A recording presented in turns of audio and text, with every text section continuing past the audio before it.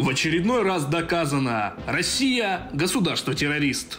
Ну и очередную межпалестинскую встречу рассчитываем провести в обозримом будущем при поддержке, конечно же, самих, самих палестинцев и их арабских друзей. Арабские друзья, по версии российской власти, организации, признанные во всем мире террористическими.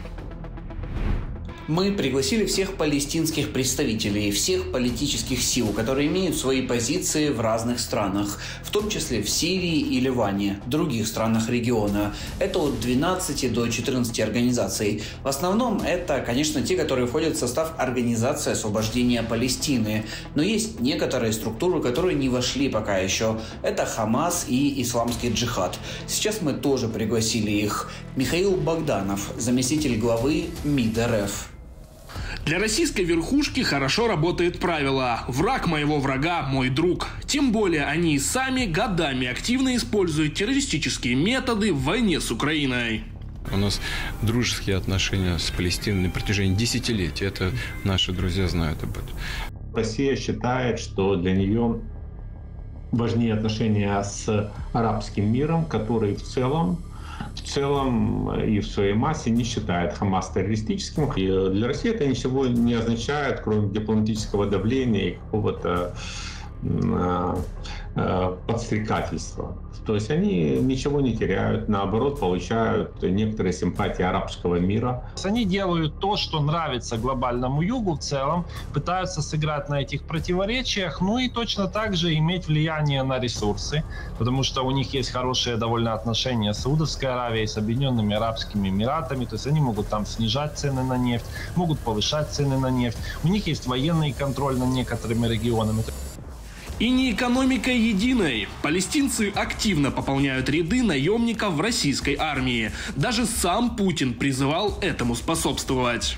Э, если вы видите, что есть люди, которые хотят на добровольной основе, тем более не за деньги, приехать и оказать помощь э, людям, проживающим на Донбассе, ну что же, надо пойти им навстречу и, и помочь им э, перебраться в зону боевых действий. Была информация о том, что из Сирии некоторые палестинские группы, а там довольно большая палестинская диаспора, они могут быть привлечены для ведения боевых действий. Также ходят слухи, что россияне тайно помогают Хамасу в войне с Израилем. А, относительно оружия они пытаются быть осторожными, пытаются, чтобы лично ну, вот российское оружие не было каким-то образом обнаружено, но содействие в тренировке, в доктринах, в разведке, в финансах наверняка оказывается. Поэтому принимать террористов столицей и пожимать им руку для российских властей норма, ведь именно они помогут России расширить влияние на Ближнем Востоке. В ближайшее время, судя по всему, на Ближнем Востоке все больше будет играть Иран, Китай и Россия, и все меньше Соединенные Штаты и в целом Запад. Даже та часть арабского сообщества, которая критически может относиться к России, она как бы в данном случае ну, смотрит на нее как на такого ситуативного союзника. И сколько бы Путин не распинался, что терроризм процветает в Украине, действия его и его окружения говорят сами за себя.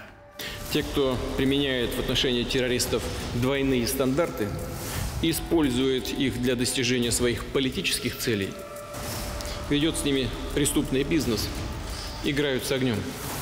История показывает, что такие действия рано или поздно выйдут боком самим пособникам. В одном он прав. Весь мир видит, кто на самом деле террорист и преступник. И очень скоро Путин и его верхушке придется отвечать за все содеянное.